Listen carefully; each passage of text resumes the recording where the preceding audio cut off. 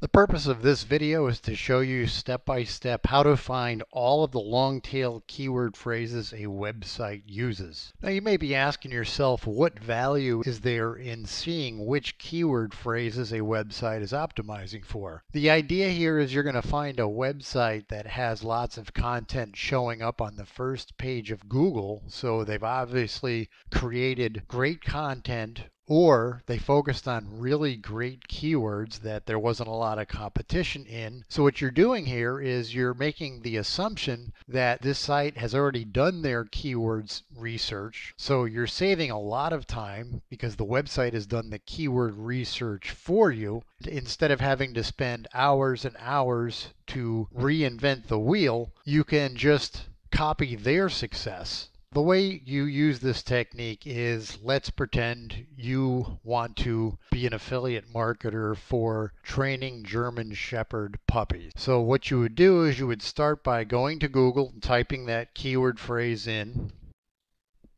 Now this, these are the Google first page search results for that keyword phrase, train German Shepherd puppies. First thing I'd advise you to do is ignore very high page rank authority websites, sites like, for example, wikihow.com. And the reason I say ignore these sites is because a big part of the reason their content shows up on the first page of Google is simply because they're an authority site and they have a high page rank. So this technique will not be nearly as effective if you try focusing on big well established authority sites. What you want to look more for is sites where in the main domain there are some of the keyword phrases related to the keyword phrase you're trying to optimize your site for. For example, thedogtrainingsecret.com, dogsbyninja.com, mygermanshepherd.org, German Shepherd Academy, and you want to focus on using this technique on one of these sites. So what we'll do is, let's say for example, we'll pick this site, germanshepherdacademy.com.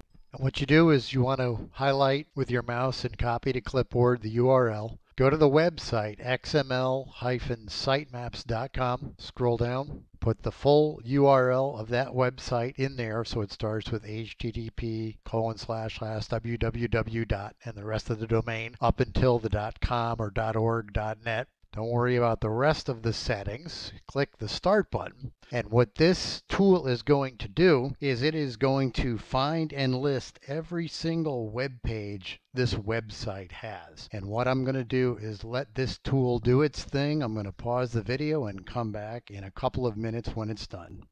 And when the website is done doing its thing, you're going to get this message here. Your sitemap is ready. Scroll down and look for where it says URL list.txt. Click on that and download it to your computer. Then what you want to do is double click it to open it up. Now, first thing you're going to notice is it looks like a jumbled mess because the way the sitemap tool works, the URL list output, it doesn't put each web page on its own line. It kind of runs one website URL after the other after the other. So what you have to do is look for the HTTP part, which designates the beginning of the web page, and put each of the web page URLs on its own line. I'm going to do that now, pause the video, and come back when I'm done.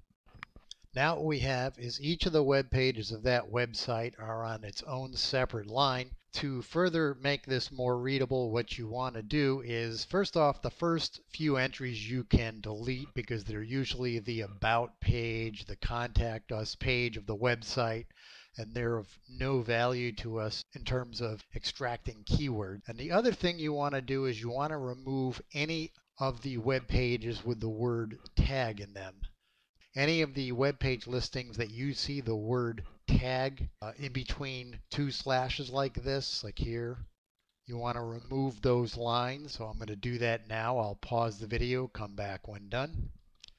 Now the last step in this process, what you want to do is remove everything except what's between the last two slashes. Everything before that are directories and not the actual page name. You want to save what's in between the very last two forward slashes. So the last step is to remove everything else from each line.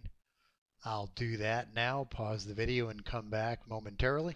Now what you are left with is the actual name of each of the pages that make up that website and only that. And if you look at each of these names in the list, it becomes very clear what long tail keyword phrase this website owner was concentrating on with each of the pages.